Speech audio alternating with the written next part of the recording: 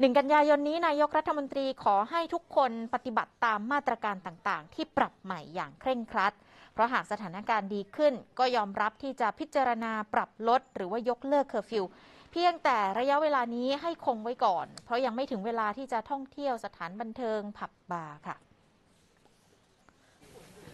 มาตรการอะไรนะ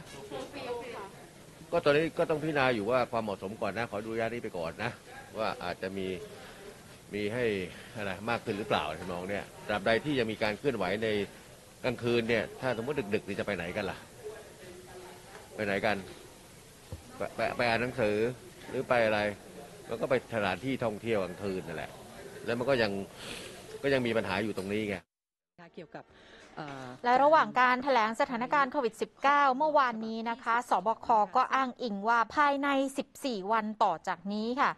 จะผ่อนคลายมาตรการอื่น ๆ เพิ่มเติมได้อย่างแน่นอน เชื่อว่าไม่มีใครที่จะกลับไปปิดกิจการอีก การผ่อนคลายให้กิจการต่างๆ เปิดได้ แต่จำเป็นต้องปฏิบัติตามมาตรการ หรือการควบคุมโรคแนวใหม่ ที่สมดุลกับการดำเนินชีวิตที่ปลอดภัยจากโควิด -19 แบบค่อยเป็นค่อยไป เพื่อดีเดย์เป็นแนวปฏิบัติต่อไปในวันที่ 1 ตุลาคมนี้ค่ะเราพยายามที่จะ ให้หนึ่งกันยายนเป็นต้นไปเนี่ยมีการพยายามที่จะเริ่มปฏิบัติในพื้นที่ที่พร้อม และพยายามปรับให้ได้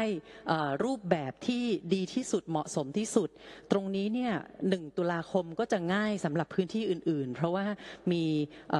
การเรียนรู้จากสถานบริการประเภทเดียวกันที่อันไหนเป็นข้อที่ต้องปรับแก้ก็สามารถนำไปใช้ได้เลย นั่นก็จะนำไปสู่การฟื้นฟูเศรษฐกิจได้อย่างปลอดภัย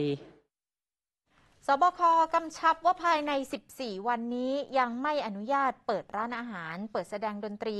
เพราะยังห่วงเรื่องของการรวมกลุ่มกัน และเกิดความแออัด หรือรับประทานอาหารเสร็จแล้วก็รีบกลับ ส่วนร้านเสริมสวยสามารถใช้บริการให้บริการบุคคลได้ 2 ชั่วโมงนะคะ แต่ยังคงจำกัดบางกิจกรรมเอาไว้